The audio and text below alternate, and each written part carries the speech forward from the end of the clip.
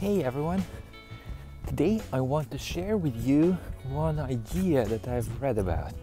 So, you must have seen prices written like $29.99 or for just $99.99 you get that offer and so on. So uh, these these types of prices are called odd prices or uh, psychological pricing and the opposite is the round prices.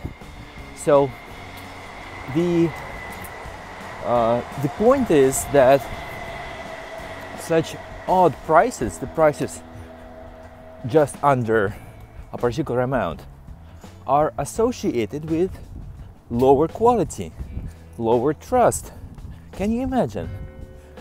Uh, usually, usually companies put such prices in order to uh, give an impression of a lower price, right?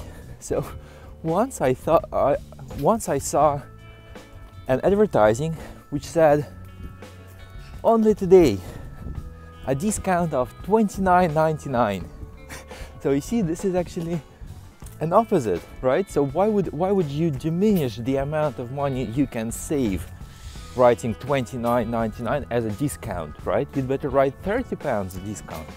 So anyway the article that i was reading about that i was reading said that round prices like $30 $20 and so on are associated with trust and while in the short term they might be not as profitable as odd prices in the long term they are they, they bring more value to the company.